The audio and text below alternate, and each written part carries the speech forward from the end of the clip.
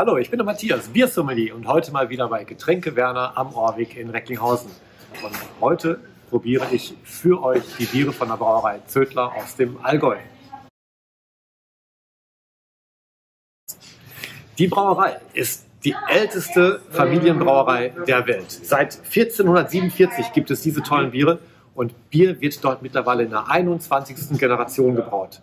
Herbert Zödler, der Seniorchef, zusammen mit seinem Sohn Niklas Zödler.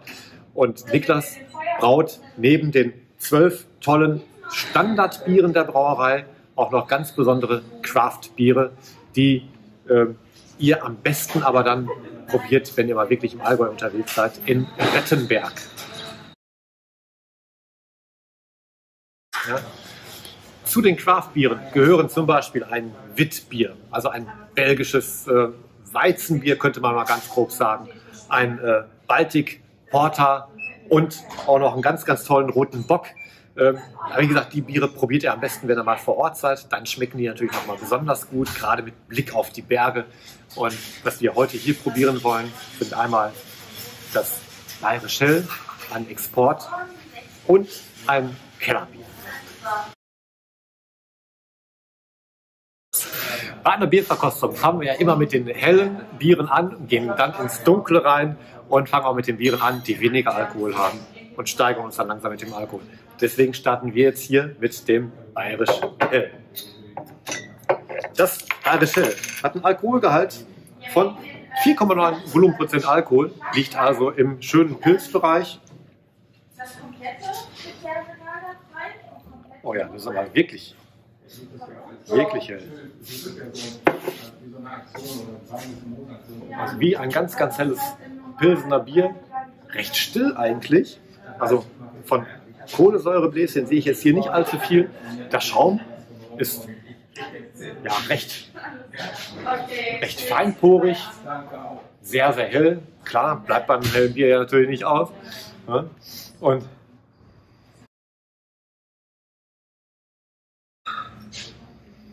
Das Bier riecht grasig. Also simpel, grasig, ganz, ganz klar, nichts Kompliziertes. Und das ist eigentlich auch das, was ein Helles eigentlich auch ausmachen kann. Ja, also ein Bier, was man einfach mit ganz, ganz wenig Widerstand ähm, trinkt, völlig unaufgeregt, mit keinen besonderen Aromen, die irgendwie ins äh, Hopfenartige oder ins Malzige einschlagen. Ein völlig unaufgeregtes Bier,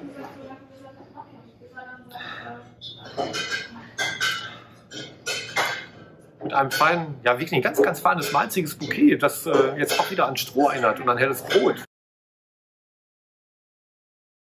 Ah, das geht wirklich fein über die Zunge. Das ist schön rezent, also sehr, sehr fein, macht den Mund auch angenehm trocken, bringt dann tatsächlich auch noch so ein leicht, leicht fruchtiges äh, Zitrusaroma noch mit rein. Ja, und das ist so trocken, da muss man direkt einen weiteren Schluck nehmen. Also da macht es jetzt wirklich Sinn, dass wir Halbliterflaschen haben. Ich bin ja eher ein Freund von den 0,33er Flaschen. Aber bei diesem Bier darf es ruhig eine große sein, also eine Halbliterkanne. Ja, da schmeckt das Bier eben auch schneller. Ja. Kümmern wir uns mal um das Export. Export und Hell liegen ja von den Eigenschaften recht nah beieinander. Beide Biere haben weder Ausprägungen, besondere Ausprägungen ins Hopfenartige oder ins Malzartige bei beiden Bieren soll eine schöne Balance da sein. Das haben wir beim Export natürlich auch, genau wie beim Hellen. Aber das Schöne am Export ist, wir haben von allem eben etwas bisschen mehr. Das heißt etwas mehr Malz, etwas mehr Hopfen und mehr Malz heißt letztendlich auch mehr Malzzucker. Und dadurch hat die Hefe wieder mehr Arbeit, ne, darf also wieder mehr Zucker umwandeln zu Alkohol und Kohlensäure und wir haben beim Export immer etwas mehr Alkohol als in einem Hellen. Hier liegt der Alkoholgehalt jetzt bei 5,3 Volumenprozent Alkohol. Und da Alkohol ja auch Geschmacksträger ist, dürfen wir hier tatsächlich auch schon ein kräftigeres Aroma erwarten. Sowohl in der Nase als nachher, nachher wenn wir das Bier probieren.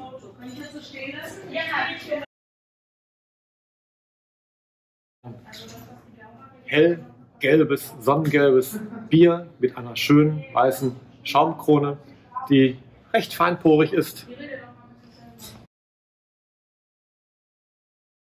Ah ja, und jetzt haben wir eben im Vergleich zu dem doch recht milden ähm, Hellen ein richtig schönes, fettes Aroma von Stroh, von, ja, von, von, von Strohballen, die der Bauer gerade so zusammengepflügt hat. Und auch die Hopfenaromen, dieses blumige, kräuterartige, grasige, das ist auch jetzt hier in diesem Bier viel stärker als in dem hellen. Also im Export, wie gesagt, hat eine schöne Balance von Malz- und Hopfenaromen, aber eben jetzt eben eine Stufe mehr und eine Stufe kräftiger. Die 5,3 Volumenprozent Alkohol, die sollten wir gegenüber den 4,9 gerade eben auch schmecken können. Das sind zwar nur 0,4 Volumenprozent, aber man kriegt schon mit. Das ist eben, was beim Essen immer dieses gute Stück Butter ausmacht. Ne? Also Alkohol wirkt als Geschmacksträger genauso wie die Butter in der Speise auch als Geschmacksträger wirkt.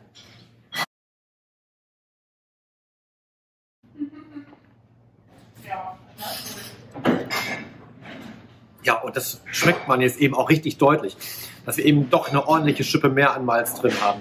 Also dieses, ja, so ein, ein, ein kantiges, strohiges äh, Aroma, das, ja, das begeistert mich total, weil es eben ähm, ja, schön kräftig ist, geradezu kerniges Aroma.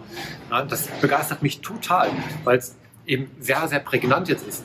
Aber prägnant eben auch sind die Hopfenaromen, dieses grasige, das äh, erinnert mich jetzt wirklich an eine, ja, also wenn ich jetzt an so, einer, an so einem Feld vorbeigehe, wo auf der einen Seite die Strohballen liegen, auf der anderen Seite noch, ja, noch das, das frische Korn irgendwie noch, äh, noch, noch wächst und gerade auch noch ein Regen da war.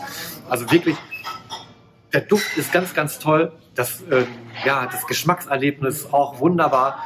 Und hierzu ja, brauchst kein Fleisch. Das ist jetzt wirklich was für Geflügel und äh, für einen ordentlich kräftigen Käse. So, mit dem dritten Bier kommen wir nun zum naturtrüben Kellerbier. Das ist ein obergäriges Bier mit Hefe im Bodensatz. Und damit wir die Hefe eben von Anfang an auch schon im Glas haben, drehe ich die Flasche jetzt, so dass sich die Hefe schön löst. Und wenn ich die Flasche jetzt gegen das Licht halte, dann kann man sehen, dass sich hier so richtig schöne Nebelschwaden entwickeln. Ja, dass die Hefe sich jetzt schön in der Flasche verteilt hat. Und dann kann ich die Flasche aufmachen.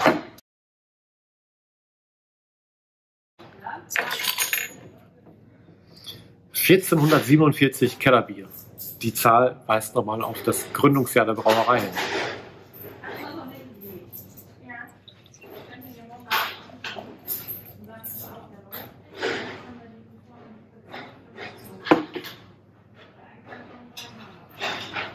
Ja, die Flasche haben wir mal perfekt gedreht. Ja, wir haben jetzt eine richtig schöne, tolle Trübung drin. Das Bier, ja, das hat ja etwas, äh, etwas Bernsteinfarbiges, äh, mit, mit Orange ist mit drin und der Schaum hat jetzt auch eine leicht dunklere Farbe, ist aber auch noch sehr, sehr feinporig.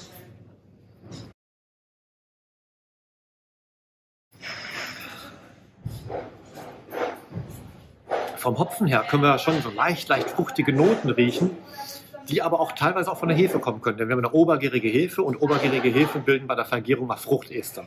Die zeigen sich im Weizenbier zum Beispiel als Bananenaroma. Hier haben wir jetzt wieder schönes Zitrusaroma mit drin, eine leichte Orangennote. Ein bisschen Pampelmuse ist auch noch mit drin, Ananas ist mit drin.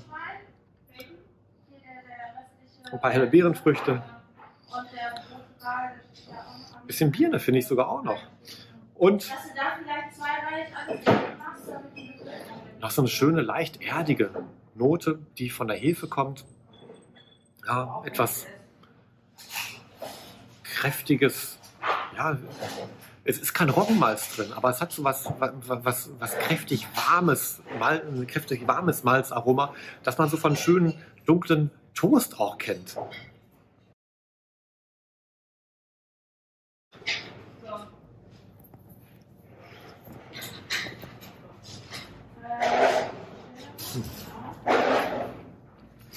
Diese Orangennoten, die kommen jetzt hier auch wieder so richtig schön durch. Also, Orange, was leicht Minzartiges ist jetzt sogar noch mit dabei. Eine ganz, ganz tolle Rezenz. Auch wieder eine schöne, Bittere, die das Bier unheimlich schön abrundet. Die malzige Süße, die wir am Anfang so haben, die wird von der Bitteren aufgefangen. Die Bittere, die bleibt auch richtig schön im, ja, so im Abgang ähm, dann hängen und macht wirklich Lust auf den nächsten Schluck.